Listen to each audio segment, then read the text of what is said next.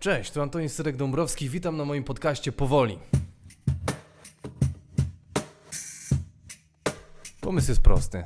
Biorę gości, zapraszam, pytam o porażki życiowe, a my się wszyscy reszta dobrze bawimy. Ja tam siedziałem gdzieś z boku z tą nogą w tym gipsie i on tak się do swojego asystenta tak nachyla, patrząc na mnie i tak głośno, takim teatralnym szeptem mówi nie no, jego to wypierdolą z tych studiów.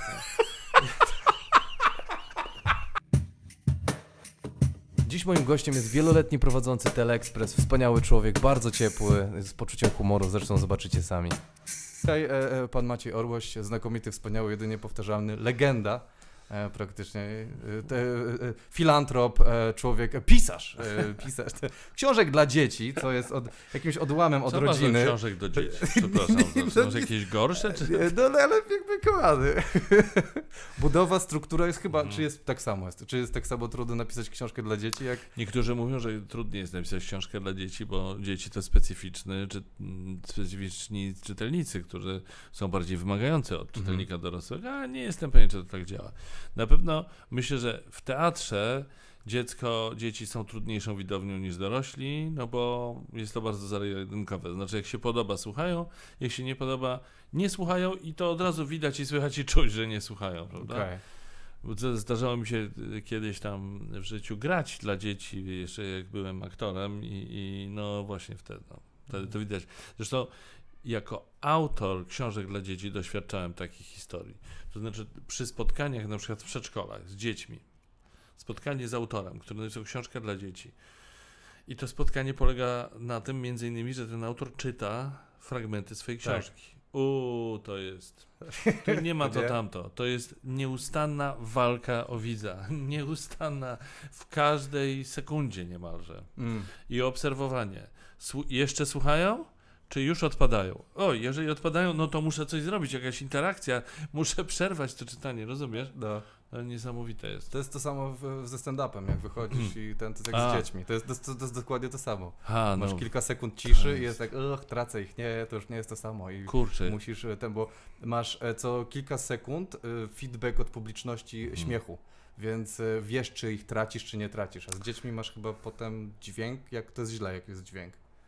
Tak, jak jest dźwięk, to jest źle. No A właśnie. jak jest cisza, to dobrze, znaczy, że słuchają, że, że wiesz, z uwagą słuchają tego, co, co im mówisz czy czytasz. Ale stand-upowców to ja bardzo podziwiam. W ogóle ja wiem, że wy tam macie różny podział na stand-up, stand-up i, i kabaret, więc nie chciałbym rzucać tego do jednego wora. Ale i tu, i tu jest podobna zasada. Znaczy, No. to od razu wiadomo. Tak. No albo się podoba i jest śmiesznie i się ludzie śmieją, albo nie jest śmiesznie i to wtedy jest cisza, to musi być straszne w ogóle. Tak, to jest potworne. To jest potworne, bo to jest, to jest niesamowite. bo Co kilka sekund Tak. masz e, weryfikację, jak przebiega Mhm. ten występ. Ja nie czy Mhm. żadna chyba inna forma sztuki nie ma czegoś takiego poza komedią. No poza komedią nie, no bo jak grasz y, monolog dramatyczny albo sztukę, wiesz, y, nie wiem, Hamleta, no to... Ale tam jest inny, inny, wiesz, taki papierek lakmusowy tego, czy się podoba, czy nie. To znaczy, tam, na przykład jak nabudujesz napięcie, to powinna zapaść taka cisza, ale taka jak makiem zasiał. Mhm. Wiesz, zero skrzypienia foteli, zero kasłania czy tam chrumkania. Ma być cisza, cisza, cisza. Aha. Nabudowałeś napięcie i teraz wszyscy czekają, co będzie dalej. I jest ta cisza. Jak nie ma ciszy, jak ktoś tam coś tam, wiesz, zaszeleścił, to aktorzy myślą, "A, nie udało się tym Ale- razem. Fatalnie, fatalnie. I, i, I co spowodowało, że chciałeś zostać aktorem? Jakby z tego. Gdzie, gdzie się to zaczyna? Czy to jest jakaś fascynacja e, aktorstwem, czy Tak, absolutnie, to nie było wykalkulowane. Ja się po prostu zakochałem. Pieniądze, że policzyłeś? I, Nie, bo- tak to... w tamtych czasach. Znaczy, dobrze mi szło jako początkującemu aktorowi, bo zacząłem pracować w dubbingu jako uczeń klasy piątej szkoły podstawowej. No właśnie to przeczytałem, bo miałem takie, co to jest za jazda, że dziecko już pracuje? No, tak. I rodzice się na to zgadzali i tak dalej, ale ja to uwielbiałem. Biegałem, wiesz, do, do bo to blisko było e, miejsca zamieszkania, do studia opracowań filmów przy Alei Niepodległości i po prostu, bo tam przyszedłem tak, taki casting I grałem duże role w ogóle. Zarobiłem na swój pierwszy rower, wiesz, takie rzeczy. I Co? tam spędzałem bardzo duże rzeczy, y, czasu. Y, y, Z, z grupą rówieśników, bo tam też ci, którzy przeszli casting. I myśmy podkładali głosy pod filmy ty wiesz, socjalistycznych krajów różnych bloków wschodniego, bułgarski, rumuński, tam, czy czechosłowacki, nerdowski może. No. No, to takie, takie były. No, stąd tam, a potem też w serialach dla dorosłych, w sensie, no, pamiętam, że podkładałem głos pod młodego Johanna Straussa w takim serialu Rodzina Straussów, jest takie historie. Okej, wow. Ale potem jak zostałem aktorem, to już nigdy nie zagrałem w dubbingu. Nigdy od tamtej Nie, pory? no prawie nigdy. Nie, no nie, nie, nie. No, tam, ale to... Porównaniu powiedzmy, także... Znaczy ja mniej. wtedy tam po prostu prawie mieszkałem w tym dubbingu, a potem, a potem się...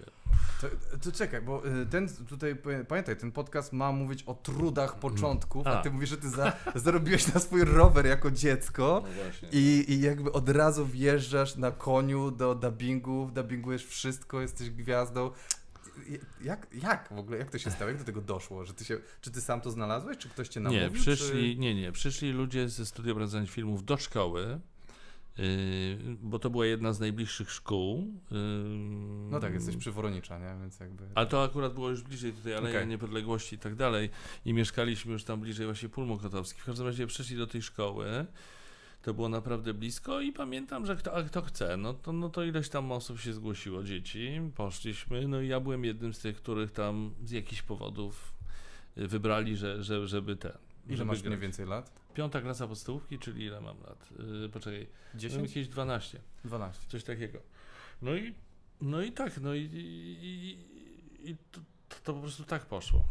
Także to akurat mi się udało. Ale żeby, żeby cię pocieszyć jakoś, to potem Nie wiem, czy coś mnie pocieszysz. nie dostałem Po się tym- do żadnego dobrego liceum, bo miałem słabe świadectwo w ósmej klasie. Wydaje mi się, że ten dubbing mógł mi pomóc, bo moi rodzice chyba napisali pismo do innego liceum na Mokotowie też, Aha. że co prawda świadectwo nasz syn ma, bo to wtedy był konkurs świadectw, no Rozumiem. rzeczywiście tam matematyka, tam truje, fizyka, wiesz, chemia, no słabo było.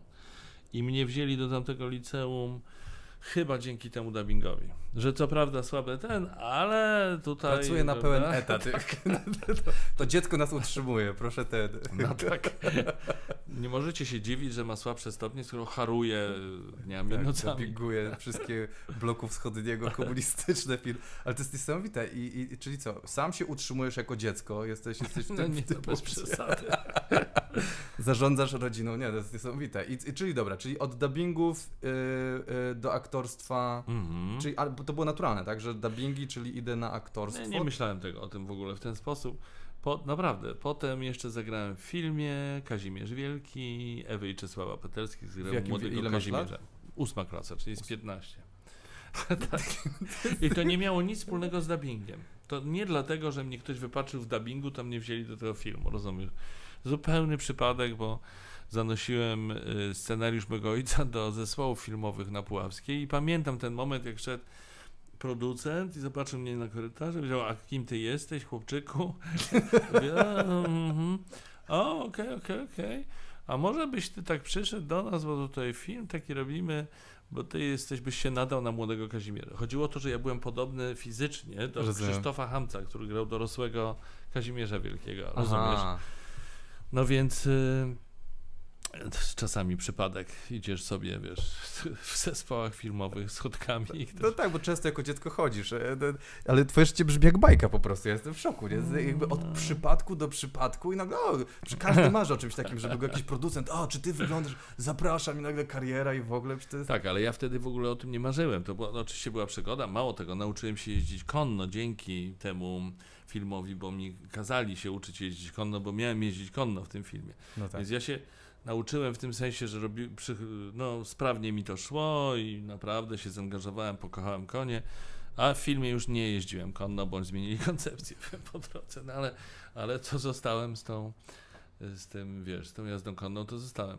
Natomiast yy, i wtedy właśnie dzięki temu filmowi w pewien sposób się zaczęła moja przygoda, moja miłość do teatru, do, do, do teatru, może mniej do aktorstwa, co w ogóle do teatru. A jak, to rozróżniasz e, do aktorstwa, do teatru? Bo ja nie myślałem wtedy o tym, żeby zostać aktorem, tylko chciałem mieć coś wspólnego z teatrem. Znaczy, dlaczego mówię o teatrze, a nie, nie o filmie, mimo że zagrałem w filmie, a nie w teatrze?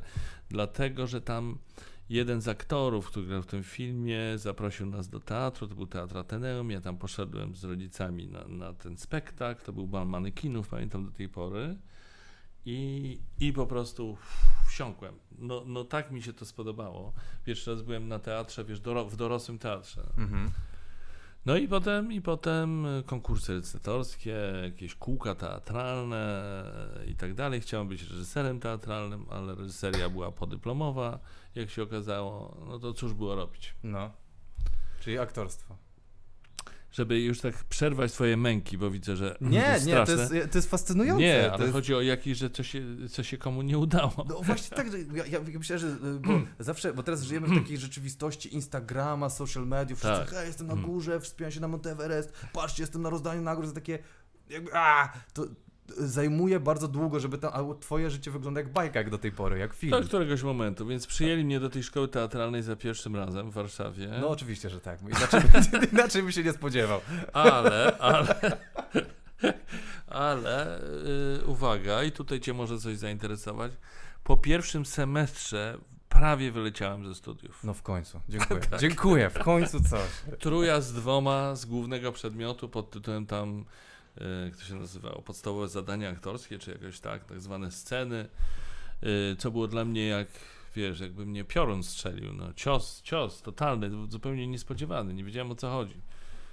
I no ktoś mnie tam na, za uszy wyciągnął i dał mi szansę jeszcze w drugim semestrze i, i ten. Ale z kolei w drugim semestrze od razu na początku, dzięki uprzejmości koledze, podczas zajęć judo złamałem nogę śródstopie. O wow. Więc, więc chodziłem na zajęcia y, z gipsem, a, a, a miałem się wyciągać, miałem, wiesz, po, udowodnić, że się nadaje do tych studiów. Więc, No. ja, więc ja na tych zajęciach z gipsem i między innymi mieliśmy zajęcia z Tadeuszem Łomnickim. Yy, on był wtedy rektorem. I, i, i Tadeusz Łomnicki był specyficzną osobą, niezwykłym artystą, ale no, był nie, nieobliczalny zupełnie. Okej. I pamiętam, no i wszyscy oczywiście tam, wiesz, się trzęśli na sam jego widok. I pamiętam, jak były takie zajęcia u niego, ja tam siedziałem gdzieś z boku z tą nogą w tym gipsie i on tak się do swojego asystenta tak nachyla, patrząc na mnie i tak głośno, takim teatralnym szeptem mówi nie no, jego to wypierdolą z tych studiów.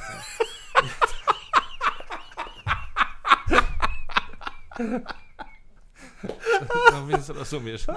No, no w końcu coś, dziękuję, dziękuję. Jest jakaś pro, probieg nadziei, że jesteś jednak normalnym człowiekiem. Tak, tak, tak, tak. Jest tak. filmu Disneya po prostu. Tego, tego, mo, tego myślę będzie trochę więcej. No ale tak jakby to się nie zaczyna, uprzedzajmy. No tak, tak. ale cudowne. I, i, i co, jak, jak sobie radziłeś na studiach? Czułeś Hmm. się dobrze tam, czy ten... No to, to był dla mnie cios, bo straciłem wiarę w siebie, w swoje możliwości. Po, po jakimś czasie zrozumiałem, o co w ogóle chodziło, bo ja się nie potrafiłem otworzyć. No, aktor się musi otworzyć, bo jak się nie otworzy, no to będzie drewniany, no to będzie... Tak. No, więc y, to mi trochę czasu zajęło. W końcu tam kliknęło, ktoś mnie jakby pochwalił, dostrzegł, więc byłem już wzmocniony.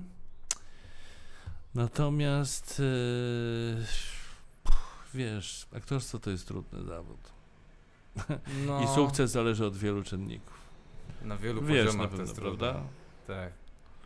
No i no i potem ta kariera, no nie, nie, niby tu, tu, tu cię zmartwię, bo od razu na zakończenie studiów Co, dostałem etat w Teatrze Ateneum, tak. o czym wszyscy marzyli. No. E, W Teatrze Ateneum w Warszawie, Teatrze Ateneum, od którego się... Tak, pierwszym- tak. I zagrałem główną rolę w filmie. To był film Hania, według noweli Henryka Sienkiewicza. Ale, ale, żeby od razu, wiesz, na drugą nóżkę, w Teatrze Ateneum nigdy nie zagrałem nic poza takim, taką halabardą, wiesz, już taką, taką mocną halabardą. Halabardon to jest taka postać... e, Halabarda to taki drugi, slangu. trzeci plan. Okej, dobra. No taki, że jest, ale jakby go nie było. No takie właściwie statystowanie, a, coś między statystowaniem a, a, a trzeciorzędną rolą. No. Okej. Ym, film nie okazał się sukcesem, przeszedł bez echa. Pff, trudno mi powiedzieć, no nie jakoś, ja też nie zabłysnąłem w tym filmie. w teatrze nigdy nie zagrałem większej, y, większej y, roli, czy, czy też jakiejkolwiek roli właściwie, bo to wszystko były jakieś takie... No. No to no tak ci mówię, no, że, nie rozumiem, myślał, że ja nie chcę cię w depresję sukcesu, wpędzić, to nie tylko, że jakby ja po prostu e, do tej pory to wszystko brzmi jak, jak po prostu bajka. Nie dość, że dostajesz pracę od razu po studiach, to w teatrze, w którym e, e, widziałeś pierwszy No. Mhm. spektakl na żywo, który cię zainspirował do zostania aktorem. Co jest jakby, jakbym pisał w scenariusz, to bym dokładnie to napisał. To, to, to jest to. Mhm. Fajnie więc- brzmi, prawda? No brzmi fajnie, ale to, ale to zawsze jest. To jest a jak, jak, jakie to było uczucie właśnie, jak, jak wiesz, jak wiele miesięcy pracujesz nad filmem, bo to jest wiele miesięcy pracy i nagle zostawiasz to i jest takie nic. O, to jest cie- ciekawy wątek. yy, To jest i, i mm, dobre pytanie. No to zawsze jest tym, ale to nie tylko w filmie, to również myślę. Może mniej w teatrze, bo w teatrze jest ciąg dalszy, to znaczy masz y, premierę, a potem grasz te spektakle i przychodzi publiczność, ale w filmie to na pewno. Mhm. Myślę, że też w jakichś takich wydarzeniach typu jakiś f- festiwal duży, jak ktoś robi. Ja nie mówię, że ja, ale, Mhm. ale w ogóle takie wydarzenia jednorazowe, telewizyjne. Na przykład prowadziłem kiedyś 50-lecie telewizji polskiej, no to pamiętam, to była duża rzecz, to była duża rzecz, duże wydarzenie. Mhm. No i żyjesz tym, żyjesz, żyjesz, żyjesz i, mm, i potem to się dzieje, następuje, okej, wszystko poszło bardzo dobrze, no i tak, mm, no i? Nie no, bo z, fi- z filmem to jest specyficzne, masz rację. Tak. Ci, skąd moje pytanie się bierze, e, z, No. z, z jakiego kontekstu. W sumie nawiązuje do tego, co na początku mówiliśmy, że w komedii masz co chwilę feedback i do, Mhm. dostajesz e, i co więcej, jak nie wyjdzie ci coś, to możesz zejść ze sceny, ojej, możesz zejść ze sceny, pójść do domu, poprawić pewne Mhm. fragmenty, wrócić na scenę następnego dnia i e, przepisane lepiej podać. Mhm. A i, mnie przeraża, jakbym myślę o tym, jak, jak pracują właśnie reżyserzy, ludzie, y, ten, y, aktorzy grający w filmach, poświęcasz na coś pół roku życia, z czego może nic nie wyjść, może, może to się kompletnie nie udać Mhm. i mnie przeraża coś takiego, takie zaangażowanie czasu do nie wiadomo jakiego efektu. Tak, to prawda, bo to w którymś momencie ty swoją pracę, znaczy bardzo szybko oddajesz w ręce innych ludzi. e, Reżysera, montażysty, producenta i oni z tym robią do końca, nie wiesz co z tym zrobią. Jedyne co pozostaje to jak najlepiej wywiązywać się z, z, w tej roli, wiesz, Tak. najlepiej zagrać. e, ale nie kontrolujesz tego, to prawda, i nie ma tej powtórki. No możesz jedynie żądać dubli, no i jakby w trakcie, a potem już nie, a potem już pozamiatane. To jest prawda. No i to jest to jedna z zasadniczych różnic między teatrem a, e, a filmem. No. Że, że to jest to, to, co powiedziałeś o pracy, rozumiem, stand-uperów na przykład. Tak, że tak, może, tak. ale to samo aktor, no musi sobie, a coś, w tej kwestii coś mi nie tego, muszę to sp- spróbować jakoś inaczej powiedzieć, czy zagrać. No i ma tę okazję, a w filmie Nie. nie. I to jest tak, tak, tak. Dlatego to pytałem, że jak, jak się czułeś po tych kilku miesiącach pracy i nagle takie nic, jakby tak do końca. Nie, nie wiem, czy nic, ale jakie to było uczucie?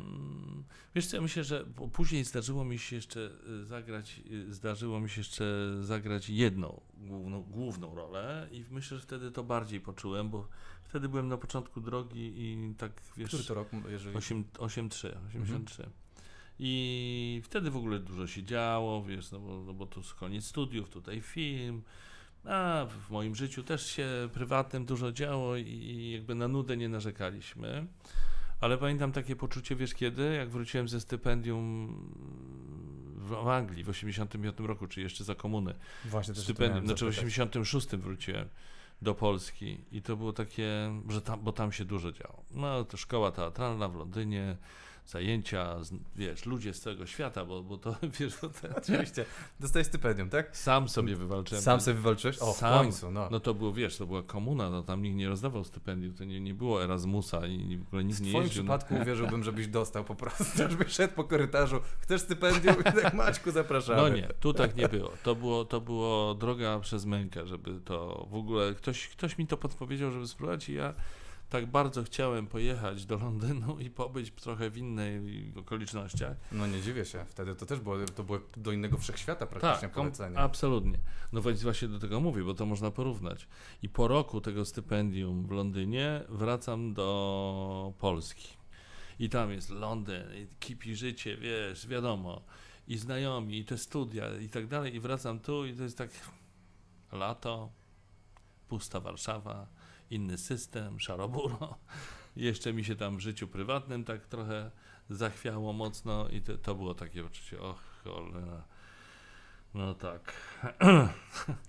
Życie, tak? Nie, ale, ale to ten temat, który po, poruszyłeś, czyli że, że y, wiesz, po, po jakimś intensywnym czasie następuje taki taka moment takiego hmm, takiej pustki. Tak. To jest, to się czasami doświadcza tego, to prawda. No, no, to jest tak, tak jak teraz w pandemii, nie? że jakby ten, ten, to było chwilę, że, że robimy coś, robimy i nagle ciach i nie możesz nic robić, musisz siedzieć. Ja nie wiem jak ty Mhm. masz, bo ja przynajmniej tak miałem i musiałem sobie zapełnić innymi rzeczami, ale, ale takie nagle y, jakbyś tak, tak leciał do przodu i nagle ci się kończy Mhm. podłoże i lecisz, jesteś taki zawieszony w przestrzeni. To jest strasznie dziwne uczucie to było. No myślę, że to uczucie było jeszcze inne od tych wszystkich, które znamy, e, bo, no bo pierwszy raz nam się zdarzyło, więc e, Tak, tak. takiej, takiej nie, niemocy, to jest poza tobą, nic z tym nie możesz zrobić, że może, może cię to wkurzać i się wściekasz, Tak. ale nic z tego nie wyniknie. Koncerty podwoływane, eventy podwoływane, szkolenia podwoływane, to już zależy gdzie ktoś y, działa. No i tak, no i, no i co teraz? Tak. Tarcza, a, tarczę, da, dadzą nam na przeczekanie. Tak, tak, Tysiąc złotych. Mm. Proszę żyć. I, i, i, jak, I jak sobie da, da, dalej poradziłeś? Jakie były? Bo to było już po studiach, czy to było... To było po studiach. Mówisz było- o tym Londynie? Po tym Londynie, tak. Tak, to było po studiach i Czyli masz 25 lat? 25-26 i to jest tak, że że to było, no kij ma dwa końce po prostu. Z jednej strony to było super, że ja to przygoda dla mnie no wielka, że po, pojechałem tam na, wiesz, na to stypendium na ten rok, ale z kolei w pewnym sensie wypadłem tutaj z tego, co tu się działo przez ten rok. Nie to, żebym A. wcześniej w teatrze dużo grał, Okej. ale tak jak ni- niewiele grałem, to po powrocie, no to już nic nie gram. I, W dla, końcu, dziękuję. I W dlatego, dlatego po trzech latach i po kolejnych trzech latach poszedłem do dyrekcji i zapytałem, czy ma we, wo, wobec mnie jakieś plany. W tym, W, w tym. Ateneum jesteś Tak. cały czas, tak. Tak, dyrektor Janusz Warmiński. I on powiedział, że no zasadniczo nie ma mnie żadnych. no to ja powiedziałem, no to ja bym panie dyrektorze jednak chyba podziękował za ten etat, bo to nie ma sensu. No Mm. okej. I, i, I tak się rozstaliśmy. Znaczy, po prostu stwierdziłem słusznie, że no, no, No. Po, po co mi ten etat? On mnie tylko pieniądze niewielkie z etatu, a, a mnie wiąże, tak? No bo nie mogę. No i tyle, no. Zrezygnowałem z etatu w Teatrze Ateneum. To A już jest przykra historia. m- mając jakąś zakładkę, czy tak stwierdziłeś, kasuję, czyszczę sobie kartę, Hmm. spróbuję czegoś kompletnie innego? Czy nie, nie, nie pamiętasz? Nie- Raczej nie pamiętam, ale raczej nie miałem tej, tej takiej, wiesz, zakładki, jak mówisz. No raczej nie miałem. To, to, czyli taki odważnie, bym powiedział, e, życiowo ruch taki, że... Tak, że... Tak, bo myślę, że się wkurzyłem w którymś momencie, no bo albo tak, albo tak. Znaczy, no po, po jaką cholerę przyjmować kogoś, owszem, do dobrego teatru, no, no wszystko fajnie, ale przyjmować młodego człowieka, który ma się rozwijać, no, no, no obserwowanie doświadczonych aktorów i tak dalej to jest ważne, ale jednak jak nie praktykujesz, sam nie grasz, no to, to, to nie ma Tak. sensu po prostu, czyli nie wiem, co tam się stało. Wiesz, to już jest jakby, to już by były dywagacje, co się stało, dlaczego przyjęto mnie, jednocześnie nie dano mi szansy, żeby, żebym coś pokazał. No. Okej. I wtedy mo, mo, można by było powiedzieć, no pokazał albo nie. Nie pokazał, no to hmm, Mm. ten, a, a jak pokazał, no to znaczy, że się nadaje i może zostać w naszym teatrze. A to było takie, no ale często tak w życiu jest, myślę. No są takie momenty, że po prostu nie wiadomo, w którą stronę idziesz, No. e, a ty zrobiłeś chyba fajny ruch. Ja ostatnio czytałem o takiej teorii, Mhm. to się nazywa e, nie spalenie mostów za sobą, ale jest Mhm. używana metafora, kurczę, nie pamiętam którego już tam tego pod, podbijacza Ameryki, e, Mhm. że przyjechał ze swoją ekipą na statku, żeby tam założyć osadę i oni tam zaczęli dywagować, co robimy, na ile nam starczy zapasów, czy na ile Mhm. się angażujemy, czy wracamy do, do Hiszpanii z powrotem. I on wtedy stwierdził, nie, zostajemy tu, więc kazał spalić statki. I to jest uznawane za taką metaforę, że oni muszą całą swoją energię teraz przekazać na zdobycie tutaj zasobów, na zbudowanie tej... Bo e, już nie ma. bo już to nie ma odwrotu, już nie Mhm. masz odwrotu. Mhm. I dlatego ja, ja tak patrzę na to, co ty zrobiłeś, w sumie spaliłeś statek tak, w taki sposób, że zrobiłeś takie, zróbmy coś innego. I, Tak, zdecydowanie. I to jest ciekawe dla mnie. I dobra, i co się dzieje wtedy? Jakby jak, jak spaliłeś statek, płaczesz na brzegu i masz takie, co ja zrobiłem? Czy idziesz gdzieś dalej i coś, no bo jest coś dużego przed tobą jeszcze. I to Ja takiego... chyba wiem, ja chyba wiem, jak to te, co tam było, bo marzyłem o tym, żeby znowu pojechać do Anglii i zaraz cię znowu dener- zdenerwuję trochę, ale, Oczywiście. ale żeby pojechać do Anglii, yy, to, była, to był rok 88, kiedy wreszcie udało mi się zdobyć zaproszenie, paszport i wizę, wizę brytyjską i Mhm. jadę do tej Anglii, żeby tam pobyć, popracować jakoś tam, wiesz, no, na tak zwanych saksach. I w tym czasie okazuje się, że mam szansę na stypendium w Stanach Zjednoczonych. Co to znaczy okazuje się, że...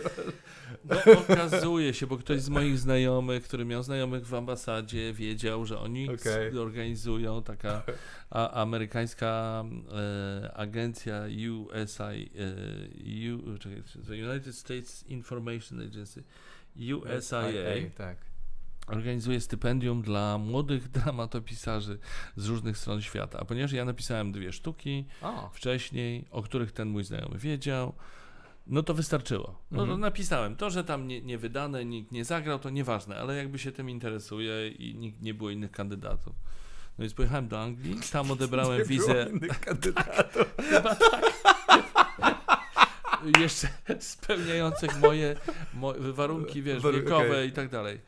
Byłem w odpowiednim wieku i e, pojechałem do tej Anglii. W Anglii odebrałem amerykańską wizę, rozumiesz? I z Anglii poleciałem do Stanów na to stypendium. Mhm. No i y, jakby spodobało mi się, zostałem trochę dłużej w tych Stanach, w sensie parę miesięcy dłużej. Który to jest rok? 8, 8. 8-8. O, 8, tuż 8. przed tym. I tak, i ja myślę teraz, dlaczego o tym zacząłem mówić. Nie tylko że, żeby, dlatego, żeby cię zdenerwować tym moim stypendium w Stanach.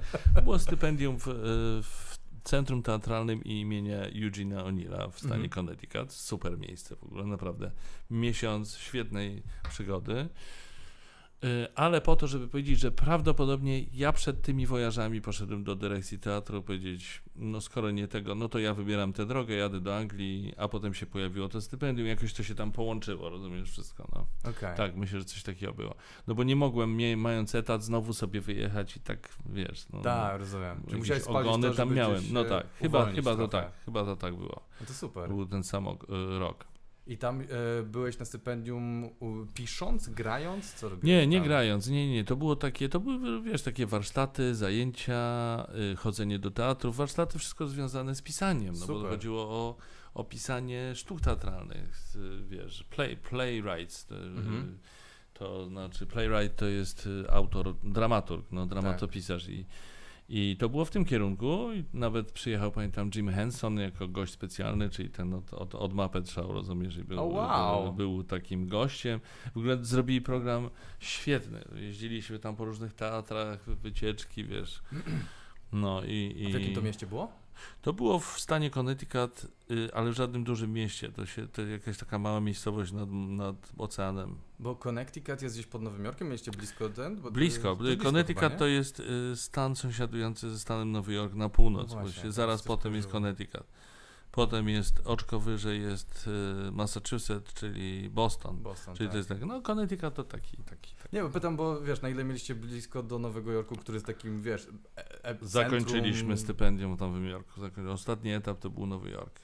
I wyprawy do teatrów i... Czyli idealnie po prostu.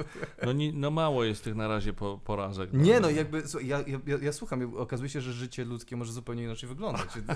Jeszcze jakby komuś za komuny opowiedział, że jak ty żyłeś, to wow, byłem w Connecticut, tutaj w Londynie. Tak, i to, jest, i to jest ciekawe, wiesz, bo, bo to, to nie było typowe, no bo jednak, znaczy ludzie, z Pol, Polacy jeździli po świecie, no, nie Mhm. tak masowo jak teraz oczywiście, ale to było możliwe, żeby dostać paszport, żeby dostać wizę, trzeba było mieć zaproszenie, w ogóle, no, no nie było to proste, Tak. ale, ale było to możliwe. Tylko wymagało dużo szczebli, tak, żeby to tak. się stało. Natomiast no, no, mieszkańcy, nie wiem, NRD, czy, czy Czechosłowacji, czy, czy, czy Bułgarii, czy, czy Związku Radzieckiego oczywiście żyli w zamknięciu dużo większym niż my. Oni nie podróżowali po świecie. No, nawet, nawet, znaczy wiesz, no to jest w ogóle nieporównywalne, czyli nie bez, tak.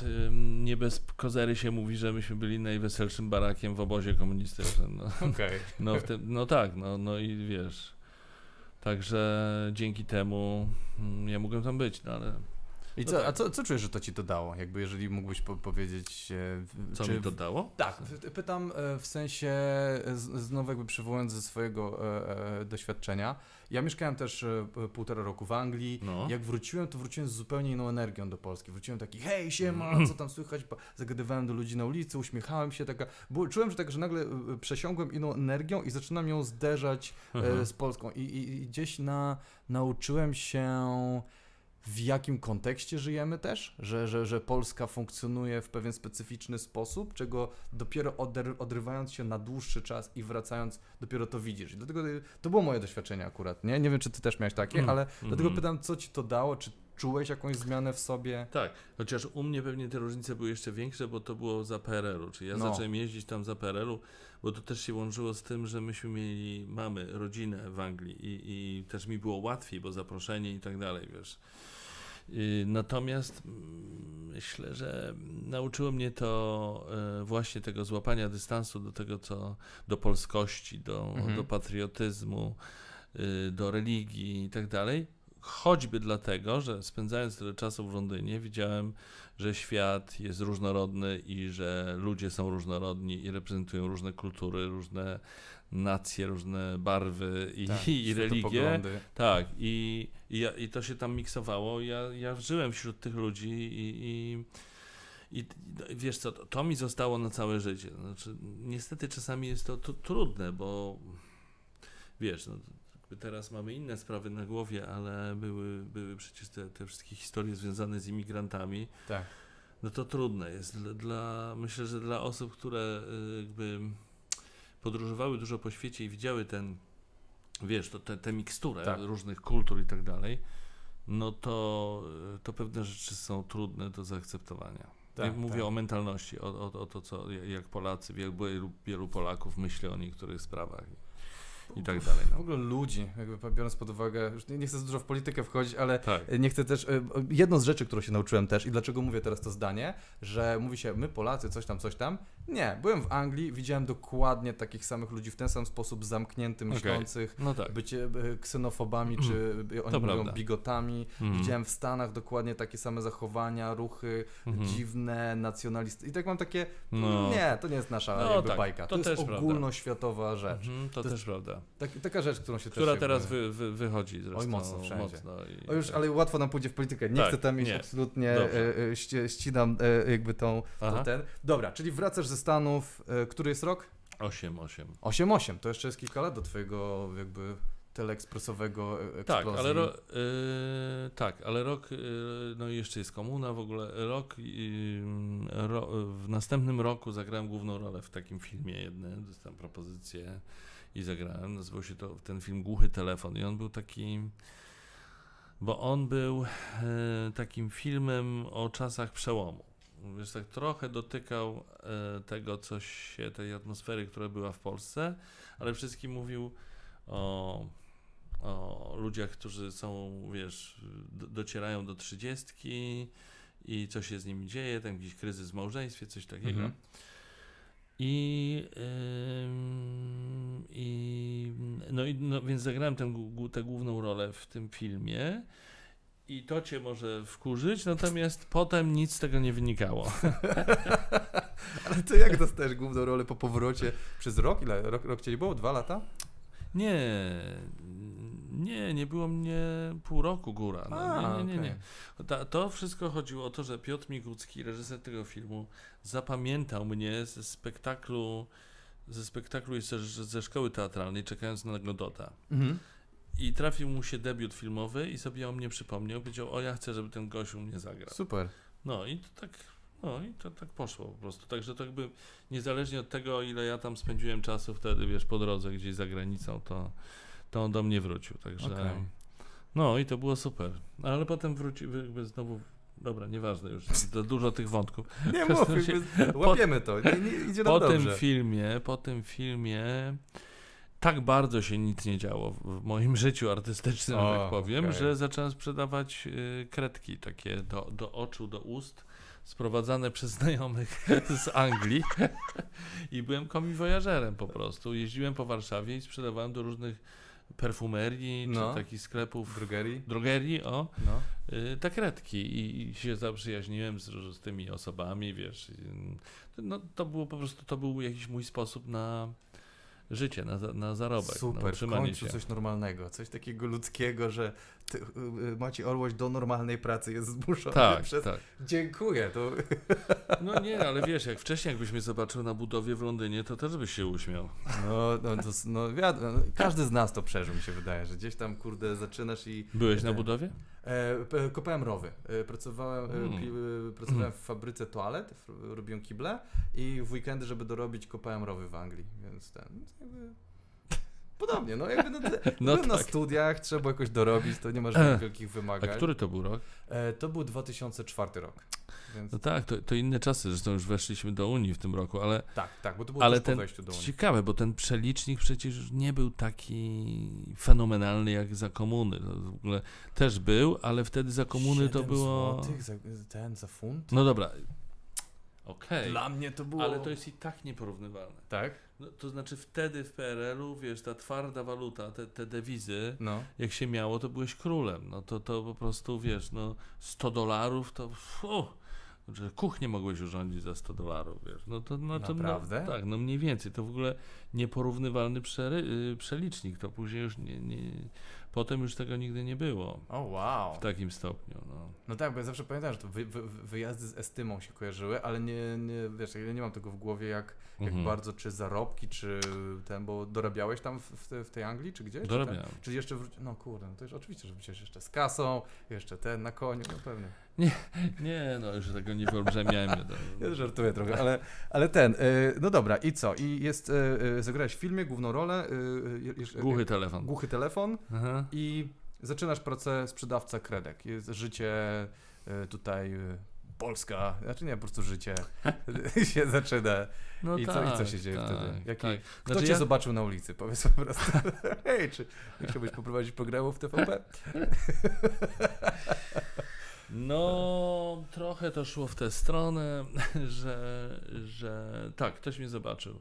Naprawdę? Y, Nie, nie, nie, nie, ktoś sobie o mnie przypomniał, jeszcze kolega ze, ze, ze, szkoły teatralnej.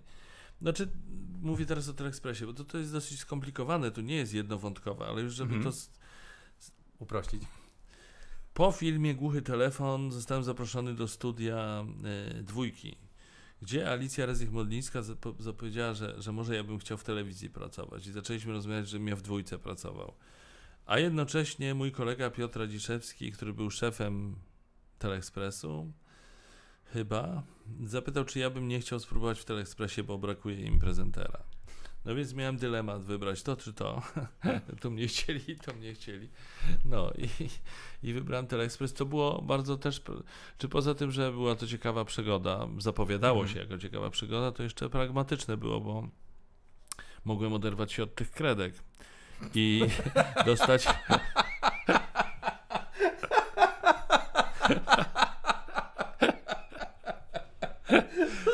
Cieszę, cieszę się, że, że ci się podoba. Tak, tak. Od kredek, wiesz, i dostałem etat, no i Mhm. jakby no, były to jakieś coś stałego, coś trwałego, plus przygoda, także to się zgadzało.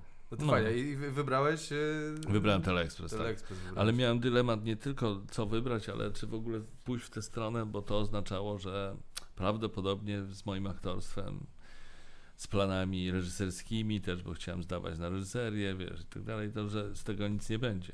A czy, czemu? To, to, to jest jakiś taki pod... e, Jakiś... No wiesz, bo jak zaczynasz być prezenterem takiego tak znanego programu, jakim był wtedy Teleexpress, Mhm. to za chwilę już będziesz miał tę łatkę, ten, ten wiesz, tej markę. Prezenter, tak, że... Że prezenter, że pan z telewizji, no to, no to, to ma grać jakieś. Co ciekawe, zagrałem kilka ról jako Mhm. pan z telewizji na początku.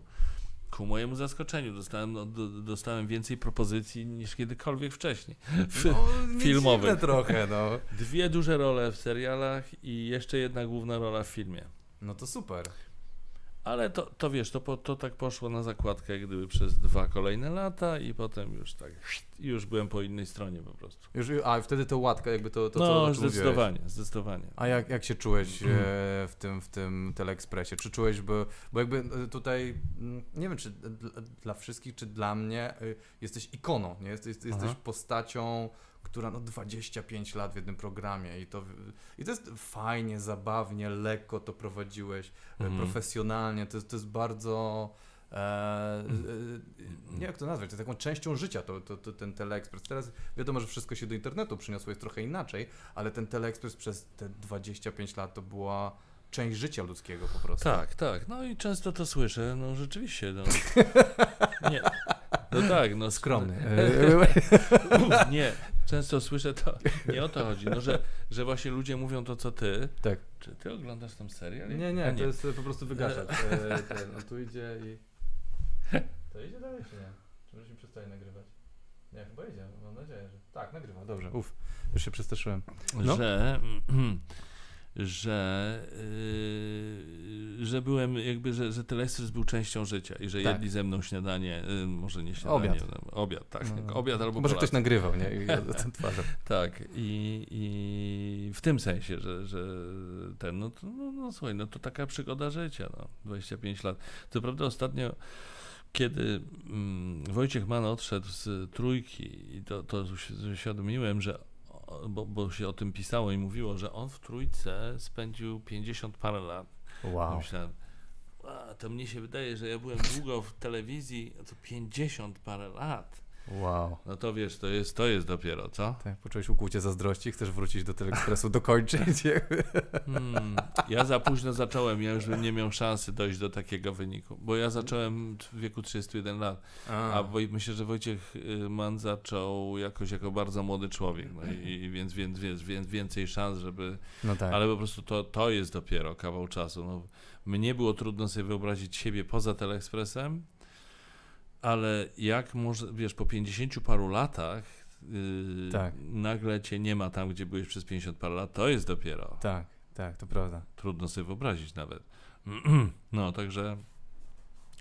O co chciałbyś jeszcze zapytać, młody człowieku? E, e, nic, to jest fantastyczne. A, to koniec. Jest, e, nie, nie, nie, nie musi być koniec, tylko tak jakby e, to jest ten Mm. punkt, bo mnie właśnie ciekawiły te trudy dojścia do sukcesu, ale to też jest ciekawe stanie się taką ikoną, nie, że, że, że jakby, Mm. mm. chociaż nie wiem, to chyba nie jest ciężarem akurat w twoim przypadku, że, że ten, że, że stajesz się takim y, kimś celebrytą, ale nie w takim złym tego słowa znaczeniu. Bo ty jesteś taki, e, przez to, że Teleexpress był tak ważną wtedy e, elementem, tak krótki, fajny, lekki, Mhm. taki bardziej młodzieżowy bym powiedział, to mhm. on był też taki bardzo sympatyczny i lubiany, więc jesteś takim przyjacielem, kumplem narodu. To jest, to jest, to jest dziwne.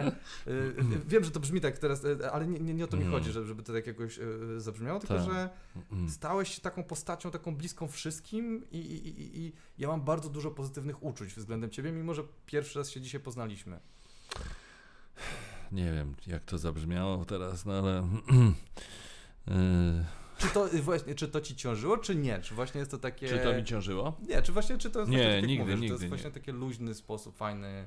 Znaczy wiesz, no to, to, to trudno, żeby ciążyło, i, i, te, jak coś jest takie pozytywne. No, no czy wiesz, do- dostawałem przez te wszystkie lata bardzo dużo pozytywnej energii od ludzi, Tak. którzy, z którymi których spotykałem gdzieś tam w różnych miejscach i, i tak dalej. Także, także to z jed... oczywiście, no, ja wiem o czym mówisz, że, że, że, że tak ciągle to, mm, znaczy, że trudno o prywatność, prawda, że, że, No. że gdzieś tam, ale do tego się można przyzwyczaić. Znaczy myślę, to mała że cena, nie? To- tak, myślę, że, że właśnie że ludziom przydarzają się dużo gorsze rzeczy niż popularność. To chociaż powiedz, że jakieś prowadzenie ci nie wyszło. Czas, bo my, my w, w komedii mamy taki termin, ja tu sobie zapisałem bombing. I to jest takie coś, że jak wychodzisz na scenę i właśnie nie ma tego śmiechu, jest cisza. I, i idziesz takim nalotem dywanowym po tej publiczności, nic ci nie wchodzi i widzisz ich nienawiść i oni chcą, niech idzie kolejny komik, niech będzie, niech on spierdziela i ten. Czy chociaż coś takiego ci się przydarzyło e, na żywo kiedyś prowadząc? Nie? Nigdy? Nie, no dobra. Próbowałem, proszę Państwa, próbowałem. Naprawdę. Dobra, no powiem ci, co mi się przydarzyło, jak wchodziłem pierwszy raz, ale to. Mm, y, Pierwszy, raz wchodziłem na scenę w amfiteatru opolskiego, Mhm. żeby tam prowadzić czy współprowadzić i- koncert. To było dla mnie duże przeżycie, no bo pierwszy raz mnie tam zaproszono, żebym ten, żebym poprowadził i, i, i wchodząc na tej scenę, na tę na tę scenę, wiesz, za, za kulis, idąc, słyszę też w tym amfiteatrze gdzieś tam, jak się niesie taki, taki wiesz, donośny czyjś krzyk, orłoś, wypierdalaj.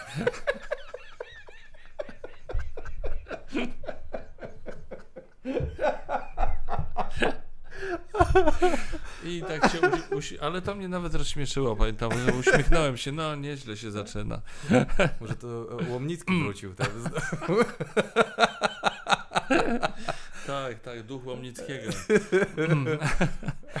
Także, no kiedyś mi się wywiad nie nagrał, pojechałem do Nowego Jorku, żeby nagrać wywiad i on się nie nagrał O, dla, dla telewizji z Jimem Jarmuszem. O! Bardzo dobry wywiad wyszedł. No, Mhm. możesz mi wierzyć na słowo. Znaczy, nie no, nagrał się dźwięk, więc on się No. gdzieś tam ukazał. Dwugodzinna rozmowa, rozumiesz? Dwugodzinna rozmowa. I gościom okazało się, że jakiś paprok zachodził na głowicę w kamerze i oni tego w monitorku nawet nie widzieli. W monitorku było wszystko ok. O, I przez wow. dwie godziny, jak zaczął zachodzić, to tak nie przestał przez dwie godziny. I następnego dnia się okazało, że się nie ma obrazu. Oj, oj. O, No, oj, to A to, a to było, do, wiesz, do telewizji, do, do takiego cyklu telewizyjnego, więc wyprawa do Nowego Jorku już poza wszystkim to też koszty, Tak. etc. No, słabo było. No z takich rzeczy, które mi się nie udały. No nie udały mi się kilka rzeczy w Teleekspresie. Tak? Naprawdę? Co nie się udały. No czy, no czy w ogóle, no, no, no były różne wpadki. No, No to chyba zawsze się. Przez No 25 lat to trudno. w rzeczach na żywo jeszcze.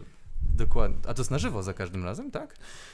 No programy informacyjne na ogół są na żywo. A, myślałem, że był chociaż trochę wcześniej nagrywany. Yy, do pewnego momentu Teleexpress był nagrywany. Jak ja tam przyszedłem w 1991 roku, to był nagrywany i Mhm. ostatnie wejście było na żywo. Okej. Chodziło o to, żeby w tym ostatnim wejściu uwzględnić coś, co mogło się zdarzyć między nagraniem Okej. a emisją, a to w końcu program informacyjny, więc żeby to tam zmieścić. Czyli to wtedy jeszcze nie miało tej funkcji, co teraz, że tam he, he, he, yy, jakaś ciekawostka, tylko Tak. że właśnie coś, coś jeszcze innego, jakieś newsy. A potem po paru latach stał się programem na żywo i pamiętam, że wtedy przeżywaliśmy to strasznie, nie wyobrażaliśmy sobie jak, jak to Boże, mamy to na żywo robić, a potem po miesiącu już nikt nie pamiętał w ogóle, że, że było nie na żywo i Leciało. wszyscy zastanawiali się, jak to możliwe, że myśmy robili to nie na żywo, rozumiesz? A jaki jest atut prze, y, za tym, żeby to było na żywo versus nie na żywo? No program informacyjny, yy, znaczy ja w ogóle rob, wolę programy na żywo, w sensie Mhm. w, te, w telewizji, no teraz mówię o telewizji, yy, bo one mają temperaturę, one są taką prawdziwą telewizją, wiesz, Aha. nawet jak coś się wydarzy, to po pierwsze ludzie lubią, jak się coś wydarzy, po drugie to pokazuje, no jesteśmy tylko ludźmi, jesteśmy na żywo, no coś może nam nie wyjść Tak. nawet, a po trzecie daje temperaturę właśnie taką, że wiesz, no tutaj są te emocje i ta pełna mobilizacja i tak dalej, i tak dalej, to jest super. No to prawda. A- Ale to jest stresujące strasznie. Co mówisz? To jest stresujące No tak, strasznie. no właśnie, no. No właśnie, natomiast y, z kolei przy nagraniu przy nagraniu no też powinna być ta temperatura, bo co to widza obchodzi, czy jest nagrane, czy na żywo. Natomiast natomiast ja nigdy w nagraniach nie lubiłem, wiesz, takiego cyzelowania. Zdarzało mi się prowadzić takie programy, gdzie po prostu realizatorom, reżyserom zależało na tym, żeby każdy fragment był taki docyzelowany, a później to na montażu się składało. Mhm, mhm. Czyli nie taki tak zwany live to tape, czyli gramy, ale tak jakby to było na żywo, tylko że będziemy grać kawałkami. Aha. O Jezus, to, to, to, tego, to zawsze dla mnie było najgorsze rozwiązanie. Okej. Bo musisz powtarzać, ja już coś tego i się stresujesz, czy to wyjdzie. Zaraz znowu zastopują, o Boże. I ta publiczność, która siedzi, i ona też się męczy, bo musi znowu udawać, że, że Aha, pierwszy raz widzi, tak śmieszne. wiesz o czym mówię. Okej.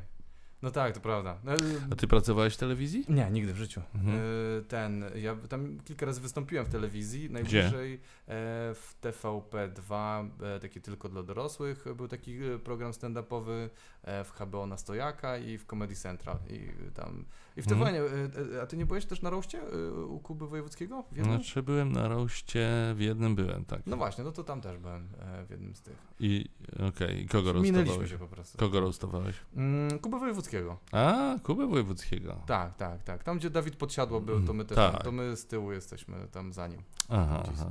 se siedzimy. Mhm. No, Czyli ty wywodzisz się ze stand-upu w ogóle, tak? Tak, ze stand-upu. Tak Aha. stricte te, nic wcześniej z teatrem ani z komedią Mhm. nie miałem wspólnego po prostu. Byłem psychologiem, nomen omen.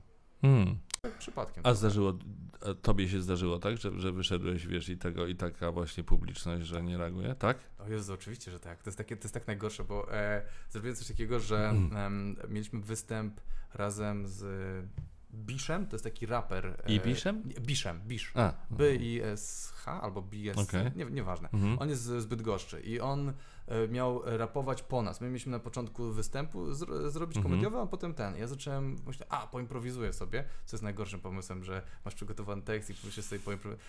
No, Widzę, że wiesz. Więc ja stwierdziłem, jest raper przed nami, e, po nas, więc ja e, e, boję się raperów, on ich ulica wychowała i się położyłem na ziemi i zacząłem udawać ulicę. Myślę, Ej, pisz, e, to twoja matka ulica. Teraz jest śmieszne, wtedy nie było. I ludzie tak patrzą, co ten kretyn robi. Bo ja się położyłem na scenie i jeszcze mnie nie było widać, bo scena miała dwa metry, więc ja się położyłem tak, że ludzie mnie z, z widowni w ogóle nie widzieli i gościu udaje głosem ulicy matki. No. Znaczy to jest tak absurdalne, że zaczyna być śmieszne właśnie. Teraz jest, teraz jest. Ale tam nie, To nic. nie było, to nie było. O. Ludzie siedzieli taka cisza, tak co jest grane. I ty się zorientowałeś w którymś momencie. Po, po minucie około się zorientowałem. Stałem i zacząłem swój robić tak, hej, tam jestem rudy, bu, bu, bu. i ludzie tak, co on gada. I w ogóle mnie nie słuchali i potem zszedłem ze sceny i potem menadżerka Abelarda do mnie mówi, co to kurwa było?